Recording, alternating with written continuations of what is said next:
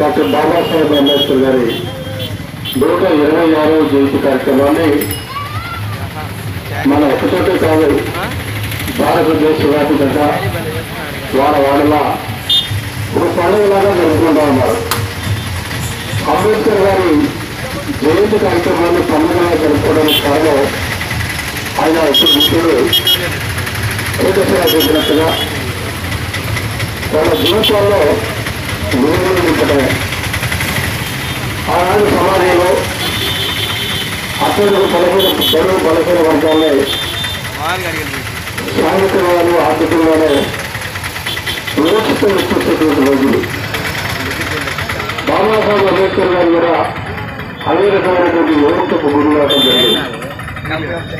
అటువంటి పరిస్థితుల్లో భారతదేశంలో యువకులు కూడా వివక్ష గురి కాకూడదు భారతదేశంలో మిగతా పౌరులలో వీళ్ళు కూడా సమానమైనటువంటి హోదా కలిగి ఉండాలి సమానమైనటువంటి హక్కులు కలిగి ఉండాలి అని చెప్పి ఆయన భావించడం ఏమిటంటే భారత రాజ్యాంగంలో వాళ్ళకు ప్రత్యేకమైనటువంటి హక్కులు పొందపరచడం జరిగింది భారత రాజ్యాంగాన్ని భారతదేశానికి అందించి ఈరోజు అన్ని వ్యవస్థలు కూడా ఆ రాజ్యాంగ ద్వారా నడిచినట్టుగా చూసినటువంటి మహానుభావుడు డాక్టర్ అంబేద్కర్ గారు ఆనాడు ఆయన దళితుల కోసం రిజర్వేషన్ సౌకర్యం భారత రాజ్యాంగంలో పొందుపరిచారు కాబట్టి ఈ రోజు అత్యున్నత స్థానంలోకి వాళ్ళు చేరుకోగలిగారు అట్లాగే చదువుల్లో కూడా మిగతా వాళ్ళకి ఏ విధంగా కూడా తీసుకోకుండా మంచి చదువులు చదువుకున్నారు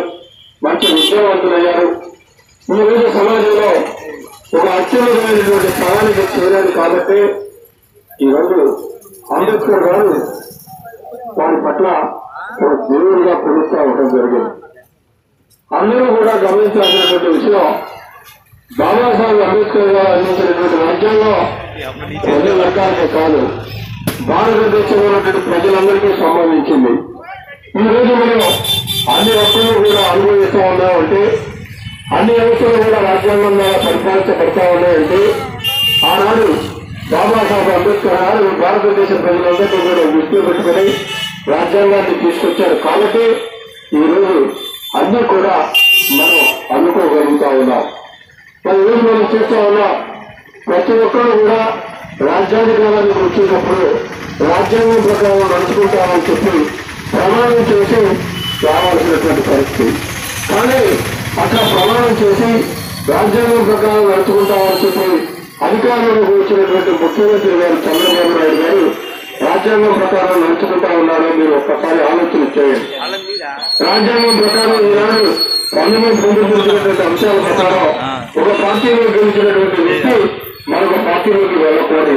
అది శాసనసభ్యుడైనా పార్లమెంట్ సభ్యుడైనా అట్లా వెళ్తే ఆయన అది ఆ సభ్యత్వాన్ని కోల్పోవడం జరుగుతుంది.